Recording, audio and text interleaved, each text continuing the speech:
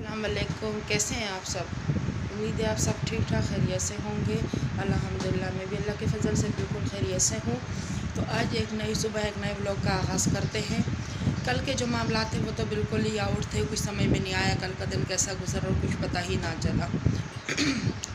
बहरहाल, लेकिन मैं जॉब पे चली गई थी। जॉब से जब वापस आई तो क्या देखती हूँ कि वही बच्ची, जिसकी वजह से हमारे मियाँ बीवी के दरमियान हमारे घर में फटा हुआ है, वही घर में आ चुकी थी।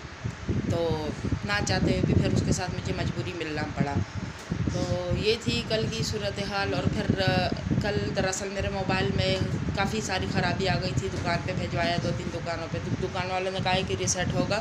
तो तब जाके चलेगा। कैमरा भी काम नहीं कर रहा था। हालाँकि बिल्कुल मोबाइल हैंग हो गया था। बिल्कुल कोई चीज़ भी समझ में नहीं आ रही थी। बड़ी बच्ची ने व्हाट्सएप पे मैसेज वगैरह किए तो उसकी रिप्लाई नहीं दे पाई। क्योंकि कोई मैसेज वगैरह, मोबाइल मेरा कुछ काम ही नहीं कर रहा था। जिसकी वजह से मैं उसको भी रिस्पॉन्स नहीं दे सकी।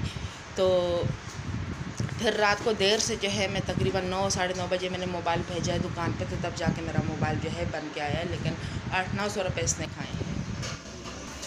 शुक्र है मेरे माले का कि हमने पड़ोस से जो है लाइन लगाई है और इतना पानी अभी आ रहा है कि हमारा जो है दो तीन दिन गुजारा हो जाएगा। लेन का पानी दरअसल नहीं आ रहा है, पड़ोस वालों ने थोड़ा कोताही की है, जिसकी वजह से जो है सबका, हमारी पूरी गली वालों का आ रहा है, लेकिन हमारी लाइन के साथ इन्होंने ना जाने क्या किया है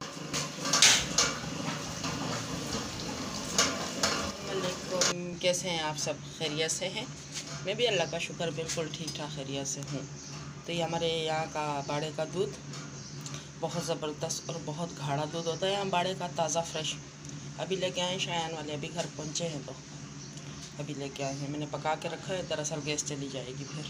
मैंने आप सबको दिखाया ना, ये होता मचा हुआ पानी के हवाले से। मुस्तकिल एक हफ़्ता हो गया, पानी का कोई मसले का हल नहीं निकल रहा है। अभी ये लोग आए हैं, आने से सांस भी नहीं लिया है और लग गए हैं लाइन वाइन लगाने। बस कुछ यही पड़ोस के ही हैं, जिन्होंने वहाँ से वाल वगैरह के साथ उन्नीस बीस किया हुआ, जिसकी वजह से पानी की काफ़ी दुशारी हो रही है। अब सामने वाले पड़ोस के घर से लगाया, तब से आ रहा है, लेकिन डायरेक्ट लाइन लगा रहे तो नहीं आ रहा। अल्लाह के हुक्म से पानी का मसला हल हो गया, ये आप देखिए, और अभी जो है, मैं बैठ के बर्तन वर्तन धोऊँगी।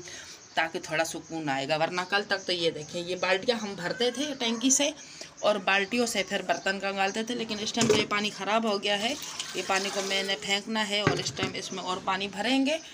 तो शुक्र है मालिक का, क्योंकि पानी के बगैर कुछ भी नहीं है ज़िंदगी।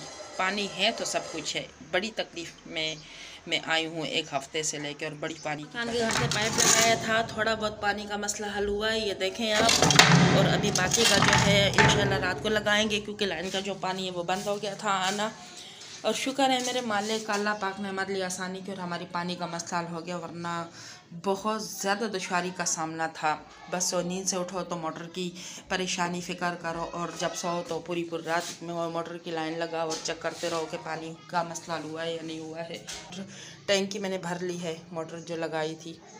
तो ये है कि बस अल्लाह का करम है पानी का टाइम पे शायन वाले गए मेरी नवासी को लेने के लिए जो बेटी मुझसे अपना ताल्लुक़ हमेशा के लिए ख़त्म करके चली गई थी उसी ने दोबारा अपने बाप को पुकारा क्योंकि उसके साथ मसले मसाइल हो गए हैं। तो मैं समझती हूँ कि जब इंसान अकेले रह ही नहीं सकता क्योंकि इंसान इंसान का मोहताज है ये मैं कहती हूँ। आज दुख सुख मुझ पे तो कल आप पे। ये बंदे के साथ कहानियाँ लगी रहनी हैं। तो इंसान ऐसा ऊँच नीच काम ही ना करे जो कल को चार बंदों में आँख मिलाने के काबिल ही ना हो। तो मकसद कहने का ये है कि अभी तो गए हैं, पहले शायान गया तो उन्होंने बेज़ती करके शायान को निकाल दिया। और अब जो है शायान और उसका बाप दोनों मिल के गए। अब देखते हैं कि क्या रिज़ल्ट लेके आते हैं, कि वो आती है या नहीं आती है। दरअसल जो उनका ससुराल है वह है ही कोई जट जाहिल। उनको किसी की जो है बात समझ में नहीं आती है। ना उनको कोई शहूर है, ना उनको अकल है। और नवासी बेचारी तो मेरी ऐसे हो गई जैसे झाड़ू का तिनका इतनी कमज़ोर। वो छोटी सी मासूम बच्ची को खुला दूध पिलाने का मकसद क्या है? और इस टाइम मैं काम पे निकल रही हूँ।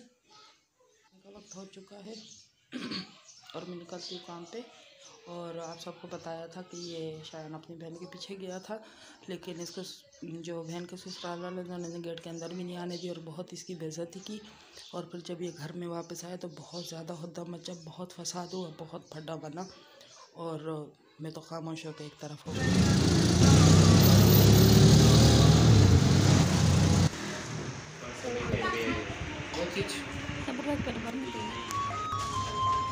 का खाना जो तैयार है दिल चाह रहा था आमलेट मेरा खाने को और पराठे के साथ। तो प्यारे बहन भाइयों, आप सब अपना बहुत ख्याल रखें। इन मिलेंगे एक नई सुबह, एक नए ब्लॉग में।